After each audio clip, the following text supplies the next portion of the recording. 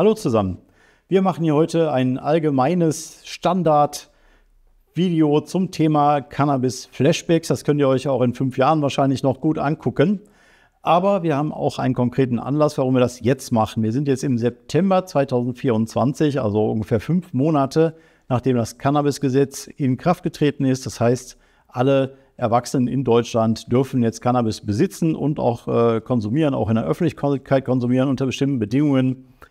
Aber eben doch nicht alle, weil die Bundeswehr, äh, also die deutsche Armee-Bundeswehr, hat eine Regelung erlassen, dass Soldaten nicht Cannabis konsumieren dürfen. Das überrascht erstmal, weil eine totale Ungleichbehandlung mit Alkohol. Und das wesentliche Argument dabei ist, dass es Cannabis-Flashbacks geben würde und man will eben mit diesem Verbot vermeiden, dass dann Soldaten plötzlich mitten im Einsatz high werden oder im Panzer sitzen und high werden ja, und dann irgendwie rumballern, wie auch immer, irgendwie dann die Kontrolle verlieren oder so. Äh, deswegen haben wir also eben auch einen ganz konkreten Anlass, uns mit dem Thema Cannabis-Flashbacks zu beschäftigen.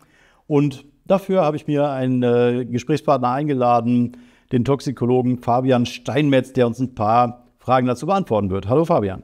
Hallo Georg, vielen Dank. Ich fange mal ganz äh, allgemein an. Ja, gibt es überhaupt Cannabis-Flashbacks? Was hältst du davon? Also erstmal müssen wir uns ja mal mit der Begrifflichkeit so ein bisschen nähern, weil Flashbacks gibt es halt schon. Das ist halt ein Begriff, der in der Psychologie genutzt wird. Das heißt, wenn man äh, zum Beispiel was sehr äh, Traumatisches erlebt und dann gewisse ja, Trigger dazu führen, dass man so gefühlt in dieselbe Situation nochmal kommt. Also beispielsweise, äh, man erfährt einen sexuellen Übergriff und assoziiert irgendeinen Geruch damit und wenn man dann diesen Geruch auf einmal irgendwie Jahre später wahrnimmt, dann kann man so eine Art Flashback bekommen, also so eine Art Panikattacke. Äh, aber deshalb, also nicht sagen, dass es allgemein keine Flashbacks gibt, aber so klassische Drogen-Flashbacks oder Cannabis-Flashbacks gibt es meines Wissens nach nicht. Zumindest gibt es da keinen wissenschaftlichen Konsens. Ähm, es gab zwar mal ein paar Wissenschaftler, die das so in den letzten Jahrzehnten mal angesprochen haben, dass es sowas geben könnte. Ähm, aber man muss dazu sagen, in der Wissenschaft es ist immer schwierig zu beweisen, dass es etwas nicht gibt. Ja? Man kann immer nur zeigen, dass es was gibt und diese Evidenz fehlt. Okay, also es gibt keinen Nachweis wissenschaftlich gesehen, dass es überhaupt Cannabis-Flashbacks gibt. Habe ich jetzt mal herausgehört. Ähm, so habe ich das eigentlich auch immer empfunden. Ja. Das war mein Stand der Dinge, als ich über diese Bundeswehrgeschichte in den DHV-News berichtet habe und habe das ganz flapsig abgetan als Blödsinn. Aber da haben die Leute natürlich gerecht, richtigerweise gesagt, das kannst du nicht einfach so jetzt wegwischen. Ne? Da musst du dich irgendwie mal vernünftig mit Argumenten auseinandersetzen, welche liefern. Auch ein Grund, warum wir dieses Interview machen. Aber was da auch überraschend war, dass ganz viele Leute oder relativ viele Leute in den Kommentaren dann geschrieben haben, ich habe aber schon mal ein Cannabis-Flashback erlebt. Wie ist das denn dann zu erklären? Ja, also Anekdoten sind immer schwierig, ja. Äh, und gefühlt in Erinnerung von Menschen mag das ja auch wahr sein, aber handelt es sich da wirklich, also pharmakologisch, wissenschaftlich betrachtet, um Flashback? Also es gibt auch Anekdoten, gerade in den USA, dass Leute Elvis gesehen haben oder von Aliens entführt worden sind. Ja, das mag gefühlt stimmen, aber wahrscheinlich gibt es äh, ja äh, also andere Erklärungen dafür. Und äh, vielleicht können wir einfach mal ein paar von diesen Erklärungen äh, durchgehen. Vielleicht äh, ist dann nach dieser Folge hier äh, denken dann vielleicht ein paar weniger Menschen, dass man, dass die quasi ein Cannabis-Flashback hatten. Also eine Sache ist natürlich, das ist eine, äh, ja, eine sehr, sehr seltene Erkrankung, ähm, äh, HPPD, Hallucinogen Persisting Perception Disorder. Das ist was sehr Seltenes und das ist auch eher mit Psychedelika, also LSD, Psilocybin und so weiter assoziiert. Aber in der Literatur gibt es auch äh, eine Handvoll Fälle äh, in Bezug auf Cannabis. Ja? Aber ähm, wie gesagt, das ist kein relevantes Phänomen und wenn man das hat, ist das eine kontinuierliche Erkrankung. Also das ist jetzt nicht, äh, ich kiffe, äh, nach äh, zwölf Stunden spüre ich nichts mehr und dann auf einmal drei Monate später bin ich plötzlich high. Ja? Also HPPD ist eine kontinuierliche Erkrankung, dass man immer irgendwelche Wahrnehmungsstörungen hat oder dass kontinuierlich Wahrnehmungsstörungen getriggert werden. Dann andere Aspekte, wenn es um Differentialdiagnose geht, also was es sonst sein könnte, Panikattacke, eine Aura von einer Migräne, ja, da hat man auch so Änderungen vom äh, Sichtfeld. Dann Floaters, also diese Glaskörpertrübungen, die man so manchmal sieht, wenn man in den Himmel schaut. Ähm, Sonnenstich, Déjà-vu, Sekundenschlaf, ein Runners High. Oder auch, das darf man auch nicht vergessen, eine versehentliche Einnahme von Cannabis. Ja, dass man doch mal vielleicht aus Versehen ein Edible erwischt hat, gerade wenn jetzt die Leute lockerer auch mit Edibles bei sich in der Küche, in der WG hantieren, dass man doch mal den falschen Brownie hat, ja. Nicht so viel, um bombenhigh zu sein, aber so, um vielleicht ein Flashback irgendwie, äh, ja, denkt zu haben. Aber wie gesagt, das sind alles eigentlich Fälle, die nicht zu einem, zu einem, äh, die, die quasi nicht einem Cannabis-Flashback entsprechen. Hm, ja, kann ich gut nachvollziehen. Also bevor ich vielleicht erstmal Cannabis konsumiert habe, habe ich vielleicht auch mal so, kann ich grob erinnern, so Zustände gehabt, äh, bei besonderer Müdigkeit oder so, oder auf einmal Farben halt intensiver waren als normal. Da habe ich wahrscheinlich einfach gedacht, oh, ich sehe gerade Farben intensiver als normal. Wenn ich vorher schon mal Cannabis konsumiert hätte, hätte ich gesagt, oh, ist ja Cannabis-Flashback, ne? so in der Art irgendwie. Ähm, wie ist das denn bei anderen Substanzen jetzt? Warum äh, wird das überhaupt nur bei Cannabis diskutiert? Was ist ja mit, mit Alkohol, Nikotin, was weiß ich, alle möglichen anderen psychoaktiven Substanzen? Das ist mit ein Grund, warum ich das als Wissenschaftler auch relativ wenig ernst nehme. Weil, wie gesagt, bei Alkohol, Koffein, Nikotin, da spricht keiner darüber. Ja? Das spielt auch keine Rolle so in der generellen Risikoabwägung. Ja, wenn es wirklich so wäre, dass von Substanzen, die man irgendwie nimmt, äh, es wirklich plötzlich sein kann, dass man Wochen oder Monate später einen starken Effekt hat, ja, dann dürfte ja niemand mehr Auto fahren, der, mal eine äh, der bei einer Operation mal eine Narkose hatte. Ja. Schon mal vor, auf einmal hätte man die Wirkung, sei es auch nur von einer Viertelnarkose, plötzlich während dem Autofahren. Ja. Das gibt's nicht. Aber dann gibt es natürlich das Argument, dass äh, THC wegen den besonderen Eigenschaften irgendwie äh, eher dazu neigt, und da muss man einfach sagen, ja, aber es gibt auch zig andere Wirkstoffe, darunter auch äh, Anästhetika, die ich gerade angesprochen habe. Also was man während der Operation gibt. Äh, die haben ähnliche äh, physikochemische Eigenschaften. Das heißt, die sind ähnlich fettlöslich wie THC. Beispielsweise ähm, äh, das äh, äh, Psychopharmaka ähm, Chlorpromazin hat im Prinzip dieselbe Fettlöslichkeit. Dort würde niemand auf die Idee kommen, dass man davon auf einmal ein Flashback bekommt und dann plötzlich schlagartig irgendwie müde und desinteressiert wird oder nur dann halt quasi eine Gefahr für den Straßenverkehr darstellt. Oder nicht ganz so fettlöslich, aber dafür viel potenter Fentanyl. Ja, das wird ja in der Medizin genutzt. Und ähm, die Dosen, die man ja braucht für eine Beeinträchtigung, sind ja extrem niedrig. Das heißt, wenn man ein paar Wochen mal als Schmerzmittel Fentanyl hatte, äh, dürfte man ja dann auch ja irgendwie nie wieder Auto fahren.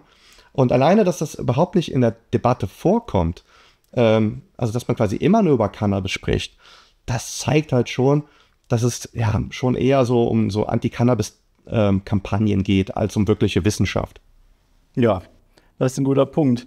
Äh, zum Thema Fettgewebe würde ich noch mal ein bisschen detaillierter vielleicht mal nachfragen, weil das ja auch eine relativ allgemein bekannte Sache ist, jedenfalls unter Cannabiskonsumenten, ähm, als der Grund bekannt ist, warum immer so ein paar Nanogramm THC bei regelmäßigen Konsumenten im Blut rumlungern, was ja bei dem 1 Nanogramm Grenzwert, den wir bis vor kurzem hatten, auch wirklich relevant war, dass Leute eben nüchtern waren, aber eben noch THC im Blut hatten, weil das äh, sich im Fettgewebe gespeichert hatte und dann so nach und nach da wieder rauskommt ne, und dann immer für so ein paar wenige Nanogramm im Blut sorgt. Ähm, jetzt kann, kann, man sich auch vorstellen, dass vielleicht ein bisschen mehr rauskommt. Ja, was weiß ich, wenn die Leute fasten hat, kommt zum Beispiel schon mal. Ähm, also kommt ja THC aus dem Fettgewebe ins Blut. In dem Fall, da wissen wir das ja jedenfalls. Bei Narkosemitteln keine Ahnung, ja, bei Cannabis weiß ich das aus dem Führerscheinbereich. Ähm, vielleicht dann deswegen nochmal konkret dazu, zu dem Thema THC aus dem Fettgewebe und die Nanogramms, die da an THC im Blut dann doch landen. Ja, also das, das stimmt auf jeden Fall. Also Cannabinoide wie THC und deren Metabolite werden vom Fettgewebe aufgenommen und auch wieder abgegeben. Das stimmt erstmal so. Ähm, und man weiß auch Mechanismen, die das irgendwie fördern. Also auch bei Tierversuchen, wo man dann äh, ähm, Nagetiere so ein bisschen hungern gelassen hat, hat man dann auch gemerkt, dass während dem Fett aber auch quasi mehr THC freigesetzt wird und so weiter. Ähm, aber die Frage ist, um welche Blutkonzentrationen geht da. Ja? Äh, unter anderem auch äh, durch eure Führerscheinkampagne habe ich da ja auch ein paar Werte. Und das sind halt, wie gesagt, bei vielen Leuten, die sich überhaupt melden äh, zu dem Thema, bei denen wurden dann zwei, drei, vielleicht auch mal vier oder fünf Nanogramm pro Milliliter festgestellt. Und das sind wirklich die, die Extrembeispiele. Aber ein akuter Rausch, das sind normalerweise zweistellige, teilweise sogar dreistellige Nanowerte, äh, Nanogramm pro Milliliter im Serum Werte.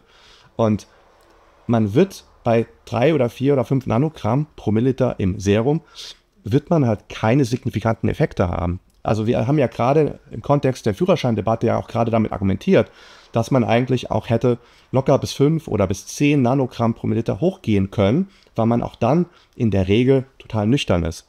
Das heißt, wenn wir über Effekte reden, die so ausgelöst werden, dann reden wir über marginale Werte, die wahrscheinlich in, in klinischen Tests, also in, wo man wirklich die Performance von Leuten misst oder so, überhaupt nicht nachweisbar sind.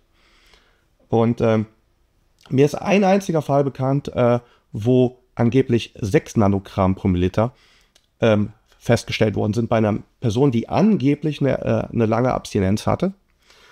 Ähm, und dann also wirklich, ich glaube, Wochen oder Monate lagen dazwischen. Und da war es so, dass äh, die Person aber auch einer Gewalttat bezichtigt ist. Also es war ein Gerichtsprozess ähm, in dem frankophonen Teil der Schweiz. Und dort, deswegen äh, konnte ich auch nur den Abstract lesen, für der Rest war auf Französisch. Ähm, aber da war es halt so, dass es halt, da ging es um eine Schutzbehauptung. Das heißt, äh, die Person, die, die Beschuldigte, hat halt einen Grund gesucht, äh, der strafmildernd sucht. Deshalb ähm, ja, ich sag mal, 6 Nanogramm sind gerade so noch glaubwürdig, aber in der Regel ist es deutlich geringer. Und wie gesagt, man müsste deutlich über 10 sein oder ja, vielleicht sogar über 20, um einen Effekt zu haben, den man mit einem Flashback assoziiert. Also, dass man wirklich einen Echo-Rausch hat, dass man nochmal einen Rausch hat. Und das hat man halt bei unter 10 Nanogramm pro Milliliter eigentlich nicht. Genau, und darüber kommt man nicht, weil so viel wird niemals aus dem Fettgewebe auf einmal rausgeschwemmt. Kann man, egal was man tut, so ungefähr. Ja, gut. Ich denke, damit sind wir jetzt so mit den, den ganzen Details soweit durch. Dann vielleicht nochmal kurz zum Anfang. Das kannst du ja mal abrunden Richtung, was hältst du denn jetzt davon, wenn die Bundeswehr sagt, die Soldaten sollen in der Freizeit nicht konsumieren? Ja, ich würde dann auch die Gegenfrage stellen, dürfen die auch nicht operiert werden, wenn die da irgendwie äh, eine schwere Erkrankung haben oder einen Beinbruch oder so? Sind sie nach einmal, einmal Operation äh, mit einem Narkotikum, äh, dürfen die dann nie wieder im Dienst antreten? Ja, also ohne Evidenz finde ich das einfach nur massiv übergriffig. Also das sind meiner Meinung nach unbegründete Ängste. Und auch wenn es diese extrem, dieses extrem geringe Risiko gibt, ja, dann ist es trotzdem so niedrig, dass es vertretbar ist. Das heißt, äh, wie ein plötzlicher Schlaganfall bei einem jungen Mann oder vom Blitz getroffen werden, was weiß ich. Ja. Und eigentlich, äh, ich sag mal, seit äh, den äh, Ende der 90er, Kleiber und Kovar, den Gutachten, äh, soll es eigentlich klar sein. Die haben sich auch nochmal bewusst damit beschäftigt und haben auch eigentlich klargestellt, dass es diesen Effekt, so wie er dargestellt wird, nicht gibt. Und spannenderweise auch die Capris-Studie, die ja, ich sag mal, äh, Cannabis definitiv nicht beschönt hat und einige Jahre später rauskam, haben in keinem Wort einen Flashback-Effekt erwähnt.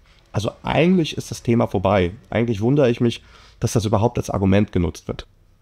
Okay, ja, vielen Dank äh, bis hierher. Ich denke, damit sind wir ausreichend informiert. Danke, Fabian.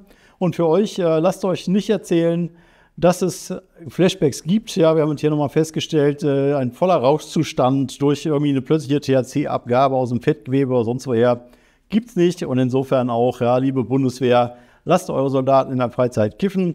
Sonst ist das eine ungerechtfertigte Ungleichbehandlung und Diskriminierung gegenüber Alkoholkonsumenten und wird auch dazu führen, dass ihr Schwierigkeiten haben werdet, überhaupt noch Rekruten zu finden, weil das ja auch bedeuten würde, ein lebenslanges Cannabiskonsumverbot für Soldaten und das äh, ist nicht mehr zeitgemäß. Bis zum nächsten Mal.